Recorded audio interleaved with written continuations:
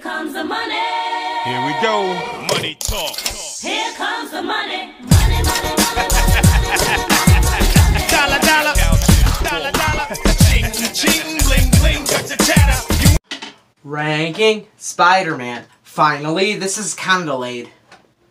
You guys know me, I love Spider-Man. He's my favorite superhero of all time. And I'm I've seen every movie, of course, um, and I'm going to rank every single movie today. Now, I haven't done a ranking video since Mission Impossible, I think, and the reason why is just because no releases really deserved a ranking. I, I'd almost ranked Harry Potter. The only reason why I didn't was because I it was a really busy time. I had Thanksgiving break. It was like a really busy final week. So yeah, but I have like tw- I have like okay, so I'm doing this now right now because I have barely enough time to edit and release this video. It's not gonna come out on the day I'm recording it, of course, because I still have a couple things. I'm not gonna finish it now. But we're gonna rank every single Spider-Man movie, all eight of them specifically. And you might be thinking there's seven of them. Actually, no, I'm gonna include Venom today because it is a, it's a Spider-Man movie. It's part of the Spider-Verse, I guess, if you will. It's part of the Webverse, so I'm considering it a Spider-Man movie. That's like kind of considering uh, Homecoming and Iron Man movie, but I but let's just say that I'm gonna be ranking all the Spider-Man movies today, including Venom. So let's get right into ranking every Spider-Man movie. And speaking of which, always come at a cost.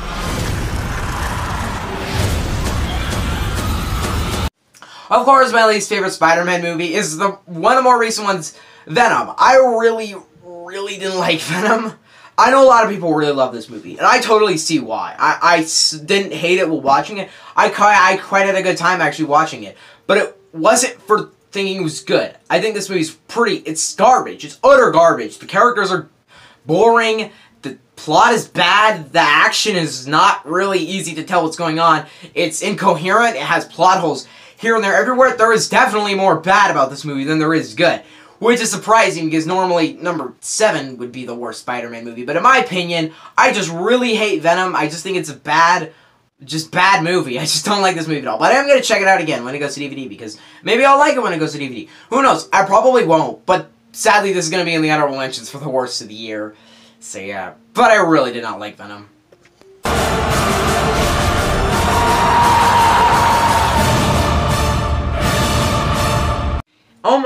God, what went wrong with Spider-Man 3? This is like... Okay, so the other two Sam Raimi Spider-Man films, I'll get to those later. But the other two Spy- Sam Raimi Spider-Man films, I really like, I really like both of them. I love Spider-Man 2. And then Spider-Man 3 kind of happens, and it's, it just kind of sucks. Like, the only reason why I'm putting this one above Venom is just because I think Venom's a worse movie. And it's more of a failure. Just more of this big, chaotic failure is what Venom is. Spider-Man 3 has elements I liked out of it. I am not going to say I hated everything out of Spider-Man 3. I definitely disliked more than I liked, but I didn't hate Spider-Man 3. I thought I didn't like Venom. I didn't like Sam. I didn't like really much about this movie, but I think yes, there's some cool action scenes. It's not a good movie. It's not that far away from Venom, but you know, it's been destroyed to death. So it's really hard to insult this movie when everyone's insulted it.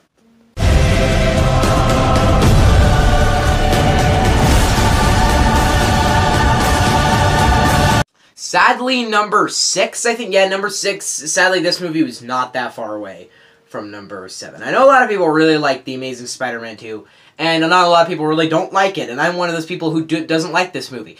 I used to kind of like it, but I thought it was okay. When I first saw it, like most people, I thought it was just okay. But the more you think about it, the more you realize, okay, you got all these villains, you got a dumb twist in the end. There are elements of this movie I quite love, like the elements of the ending of this movie. Won't spoil it, but the ending, not the ending battle, but the end. You know what I'm talking about. The end of the third act, but the beginning to the beginning of the cliffhanger. That is my favorite part of this entire movie. I flat out love that part. It's just so well done. Then everything else I just don't like. I just don't like anything else about this movie. I don't really like the. I like. I mean, I like the. I like the characters, I guess, but I. I thought Jamie Foxx's Electro was okay. I didn't. I just thought. I thought I was just, just really disappointed by a lot of the actions, a lot of the villains. Like thought Green Goblin was bad. I don't really like Green Goblin on this movie. I didn't really like. I'm just particular when I'm watching this movie. I'm just thinking. I'm particularly bored when watching a Spider-Man movie. This is the only Spider-Man movie. I mean, I guess Spider-Man 3 is boring, but it hits so bad it's good more than once. This movie doesn't. The only reason why I'm not saying this movie does is a couple scenes in this movie. The one part that I really love, and then there's a couple action scenes in this movie that are pretty freaking awesome with Spider-Man flipping around and doing stuff, which is almost why, which is pretty much the reason why I put this at number 6. But still, not my movie. I really don't like The Amazing Spider-Man 2.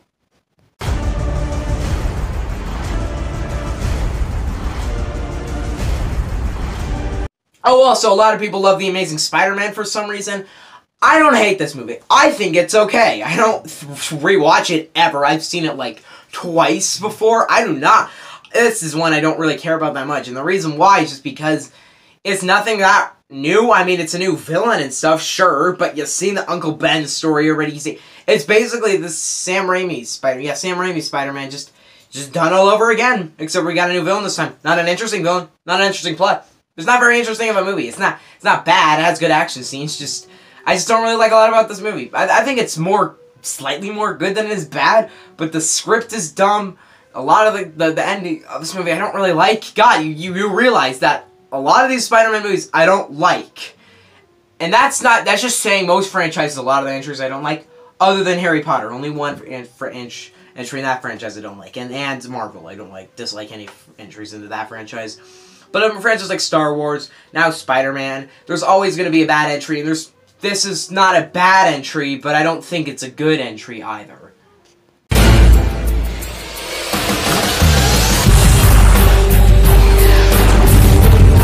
Number four, this is finally where we get to the good stuff. Number four is Sam Raimi's original Spider-Man movie. Spider-Man 1 is, it's a classic. It, it is a classic. And I love this movie. I don't know if I love it. I still give it like an 8 out of 10 because I do think there's like campiness. There's some dumb stuff in it.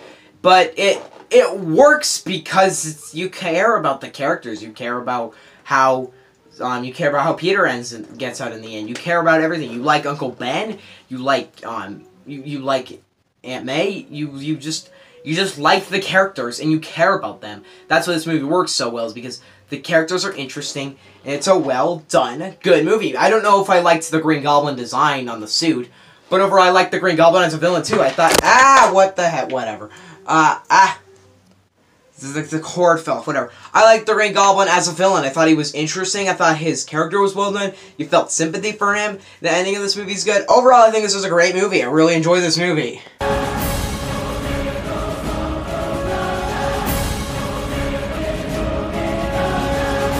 Alright, so the top three for a lot of people switches around a lot. And most people are either going to put this movie at number two or number one. I put it at number three, mainly because I don't have the insane nostalgia connection to it. But number three for me is, of course, Spider-Man 2. Like I said in the beginning, I love Spider-Man 2. And I stand by that fact. I absolutely love this movie. The reason why this movie works so good is you have a great villain, Doc Ock. You have great action, like the train scene. You have a great, great, believable relationship between M- MJ and Peter. You have great relationships. You have just so good character development. Oh my god, I love the characters in the movie. Like, you take the good characters of the first and you just make them even better in the sequel. Characters in this movie are interesting, exciting. You care about if they make it out in the end. That you know when your movie's good. If you care about when if the characters are going to be alive at the end, and you really do. It really is good at like fleshing out Peter's character really good. This is the best development I've seen a Spider-Man be. That includes Into the Spider-Verse and Homecoming. It stretches the character out so well. And I think that I love this movie so much. It is so well done. Spider-Man 2, it's one of my favorites. Let's see, do I have it back here? Yeah, I still do. Freaking love this one.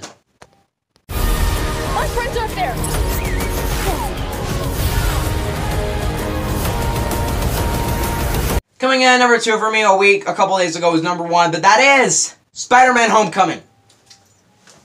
Ah, wait, I got it right here. I also really love this movie. I have a review for this one. I don't have reviews of any of these except for this one and Into the Spider-Verse, but I know this movie is a Marvel movie, and it is a Marvel movie. You do get sick of Marvel movies eventually. It is hard to rewatch much Marvel movies back to back because you feel the comedy, you feel it kind of getting loose, and I do feel it getting a bit thin. So I'm hoping Captain Marvel is better in that way because I don't because that kind of Ant Man and the Wasp kind of proved to me that the that a lot of the Marvel movies are putting comedy over story. Nonetheless, Marvel, I love Marvel. It might not be my favorite franchise. I think it still might be my favorite franchise just because it's so awesome. But I love Marvel. And I love this movie. It's one of my favorites out of the MCU. Hands down, this movie's awesome. It's so. I just love Peter Parker's. Uh, yeah, Peter Parker's character. I thought Tom Holland is my favorite Spider Man. And that stands even after Into the Spider Verse. He's still my favorite Spider Man. I thought Tom Holland did great. I love his arc with. A lot of people. I know, I know Nostalgia Critic kept criticizing this, but it's not about Uncle Ben this time. It's about um, Tony Stark, and that, that's what makes Spider-Man whole. Well, I'm glad to see something new. This is a new, original movie. Well, maybe not totally original. I literally said earlier today wasn't that original. I guess yesterday I said it wasn't that original, but it is a it is an original. It's an original, new, entertaining, good movie. That's funny. The comedy is great in this movie. The the Vulture, Michael Keaton as the Vulture, is still my favorite Spider-Man villain and will always be my favorite Spider-Man villain as long as Mysterio. Oh wait, maybe Mysterio, Jake Gyllenhaal as Mysterio will be awesome. I cannot give me my Far From Home trailer now. Why can't you release the Far From Home trailer with Into the Spider Verse? Like when that would um I think this movie is pretty great. I've expressed this opinion in multiple videos, but I love Homecoming. But wait, this is number one? This was never your city. It's mine. If I don't destroy the collider, none of us will have a home. That is why my favorite Spider-Man film is Into the Spider-Verse. Like, no joke. This is, I said this in my review of it, of course, but no joke. This is my favorite Spider-Man film. There is absolutely no competition there. This movie is, it's just so good.